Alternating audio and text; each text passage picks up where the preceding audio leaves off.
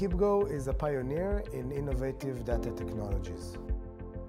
It's a mix between a startup and an already based company, so the, the atmosphere is both young and also stable. We are official partners and distributors of AT&T, official partners of Telefonica, of Vodafone, of T-Mobile, and many other tier one top-notch uh, carriers. The goal is to use the innovative technology to provide better solutions, faster solutions, and more cost-effective solutions. During the last four years, we were working on developing this virtualization of a SIM card.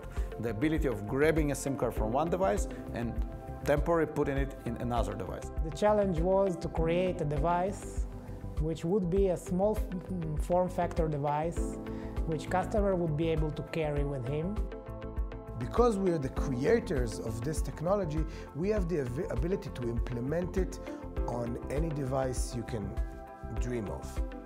We can put it in a car, we can put it in an elevator, in a drone, in a mobile device, hell, we can even put it in a hat.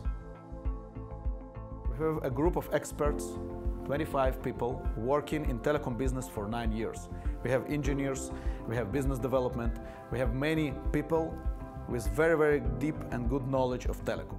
The engineers, they are the base of the, the company. They are the ones that are developing the new products and I, I see them working day in, day out, day and nights and they are burning the midnight oil to make the project successful.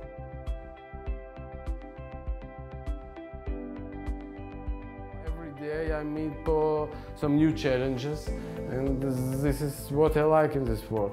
I want to create technology that billions of users will use it every day. And it's a great opportunity for me.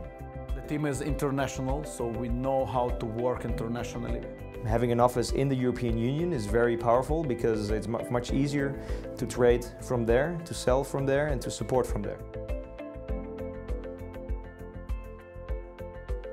KeepGo sees two main things happening in the world of uh, data. We use more data and we use it more often. Now we are working on so-called matching node that will be matching sellers and buyers together.